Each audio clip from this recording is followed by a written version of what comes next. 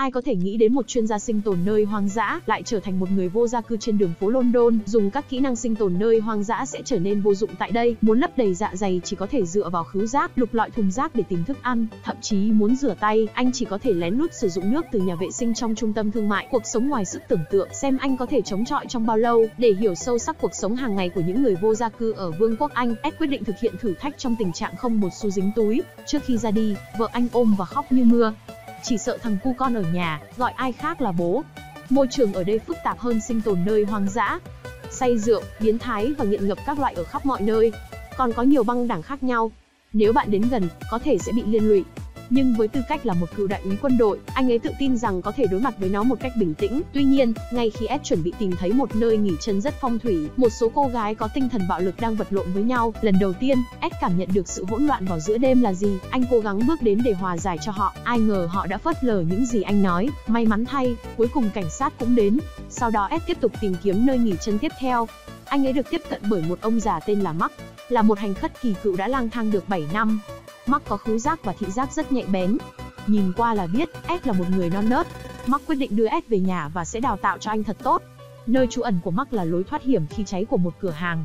Nó có thể che chắn khỏi gió mưa và có thể ngủ được hai người. Sau khi dạy ngắn gọn một số kỹ năng cơ bản, Mark quyết định dẫn Ed đi thực hành trực tiếp. Mục tiêu của họ là trước cửa của một nhà hàng cao cấp. Những người đến và đi ở đây là những công dân ưu tú trong xã hội. Không ngờ lần này vừa đến thì có người trông chừng ở đó không tìm được nhà mới, mà khi về nhà, nó cũng được chiếm giữ bởi một nhóm thanh niên đang ca hát. Sau khi bị mắng thậm tệ, họ đành dọn đồ đạc và rời đi.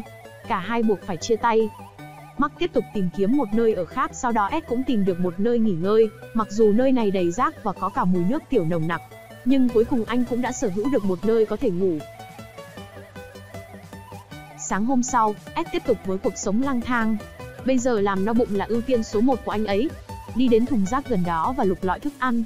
Nhìn biểu cảm từ khuôn mặt, có thể thấy anh ấy đang rất đói. Với khứu giác nhạy bén, lục lọi qua một vài thùng rác, anh tìm thấy được vài ổ bánh mì. Sau khi ăn uống no say, Ed dự định thực hành kỹ năng ăn xin của người vô gia cư, nhưng những người qua đường dường như không thể hiện nhiều lòng tốt, thay vào đó là một số con nghiện đứng ra bán hàng lậu. Trong vùng đất tự do này, dù giữa thanh thiên bạch nhật vẫn thấy được những người nghiện như zombie, họ luôn uốn cong người như thế này và đi loạn choạng trên đường phố, những động thái này cũng hoàn toàn khiến Ed sợ hãi. Anh ấy lo sợ rằng có một kẻ xấu nào đó sẽ lôi kéo anh xuống vực thẳm. Suốt ngày phải liên tục quan sát xung quanh. Anh đã có trải nghiệm sâu sắc về chuyến đi lang thang này. S thấy một người phụ nữ có một chỗ ngủ sang trọng. Cô ấy mời S vào ngồi chung. Sau khi cô ấy nói với S về những trải nghiệm của bản thân, sau đó ra ngoài trực tiếp buôn bán hàng lậu, tưởng rằng anh ấy đã tìm thấy một vùng đất yên bình, không ngờ người phụ nữ cũng là một con nghiện có thâm niên, để tránh bị liên lụy, S dứt khoát rời đi để tìm môi trường sống tiếp theo. Tuy nằm nghỉ trong một con hẻm rất hẹp nhưng S vẫn cảm thấy tốt hơn.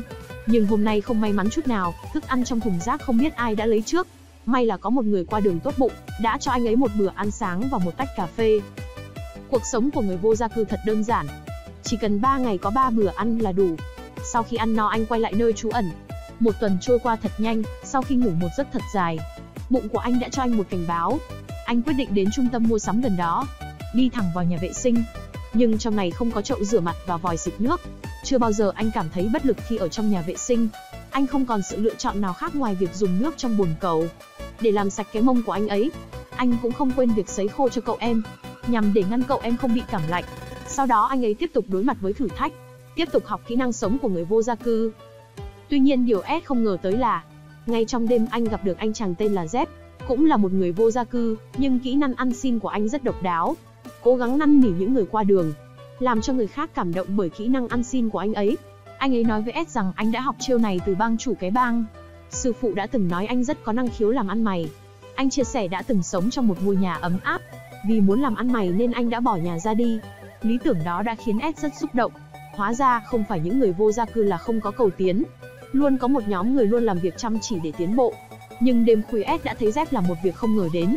Hành động của Z khiến Ed lập tức hiểu ra. Những chia sẻ trước đó chỉ là vẻ bề ngoài. Họ chính là con đẻ của cái ác. Sau khi biết sự thật Ed đã rời bỏ Z, tiếp tục tìm kiếm những kỹ năng của người vô gia cư,